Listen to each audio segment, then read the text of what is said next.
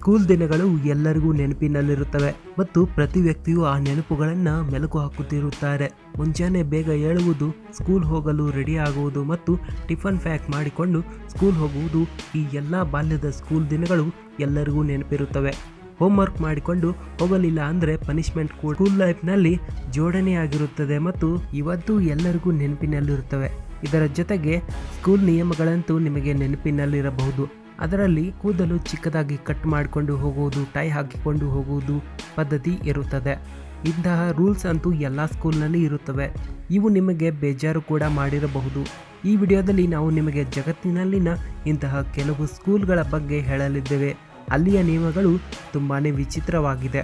ಸ್ನೇಹಿತರೆ, ಈ ವಿಡಿಯೋ ನೋಡೋ ಮುನ್ನ ನೀವು ಇನ್ನೂ ನಮ್ಮ ಚಾನಲ್ಗೆ ಸಬ್ಸ್ಕ್ರೈಬ್ ಆಗಿಲ್ಲ ಅಂದರೆ ಸಬ್ಸ್ಕ್ರೈಬ್ ಆಗಿ. ಹಾಗೂ ಹೊಸ ವಿಡಿಯೋಸ್ಗಳ ನೋಟಿಫಿಕೇಷನ್ ಪಡೆಯಲು ಪಕ್ಕದಲ್ಲಿರುವ ಬೆಲ್ಲೈಕನ್ ಕೂಡ ಕ್ಲಿಕ್ ಮಾಡಿ. Number one, bathroom coupons.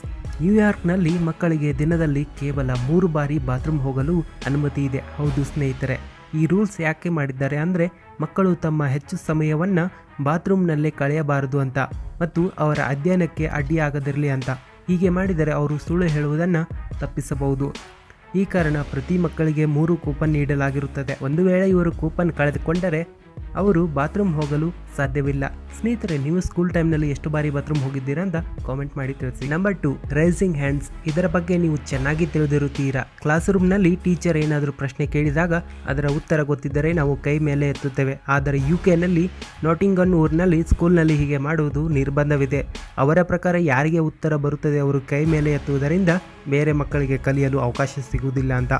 ಈ ಕಾರಣ ಮಕ್ಕಳ ತಂದೆ ತಾಯಿಯರು ಈ ನಿಯಮವನ್ನು ವಿರೋಧಿಸಿದರು. ಯಾಕೆಂದರೆ ಮಕ್ಕಳು ಮನಸ್ಸಿನಿಂದ ಭಯ ಭಾವನೆಯನ್ನು ದೂರ ಮಾಡಲು ಅಂತ. Number three sleeping in classroom ನಿಮಗೆ ಗೊತ್ತಿರಬಹುದು, ಕ್ಲಾಸ್ನಲ್ಲಿ ಮಲಗುವುದು ಸ್ಕೂಲ್ ನಿಯಮದ ಪ್ರಕಾರ ಅಪರಾಧವಾಗಿರುತ್ತದೆ. ಒಂದು ವೇಳೆ ಮಲಗಿದ್ದನ್ನು ಟೀಚರ್ಸ್ ನೋಡಿದರೆ ಸಾಕು ಪನಿಷ್ಮೆಂಟ್ ಖಂಡಿತ.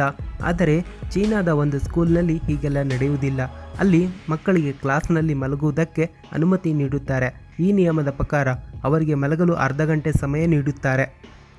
ಇದರ ಜೊತೆಗೆ ಮಕ್ಕಳಿಗೆ ಮನೆಯಿಂದ ಹಾಸಿಗೆಯ ಶೀಟನ್ನು ತರಬಹುದು. ಈ ರೀತಿ ಮಾಡಲು ಕಾರಣವೇನೆಂದರೆ ಮಕ್ಕಳು ಓದುವ ಕಡೆ ಗಮನ ಕೊಡಲಿ ಅಂತ ಮತ್ತು ಇದರಿಂದ ಅವರ ಮೆದುಳಿಗೆ ರೆಸ್ಟ್ ಸಿಗಲಿ ಅಂತ.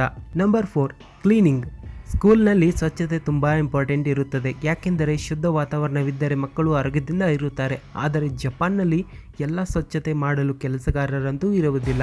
ಬದಲಿಗೆ ಅಲ್ಲಿಯ ಸ್ವಚ್ಛತೆ ಸ್ಟೂಡೆಂಟ್ಗಳೇ ಮಾಡುತ್ತಾರೆ. ಇದೇನು ತಪ್ಪೇನಿಲ್ಲ. ಯಾಕೆಂದರೆ ಈ ರೀತಿ ಅವರು ಕೆಲಸಗಳನ್ನು ಕಲಿಯಬಹುದಾಗಿದೆ.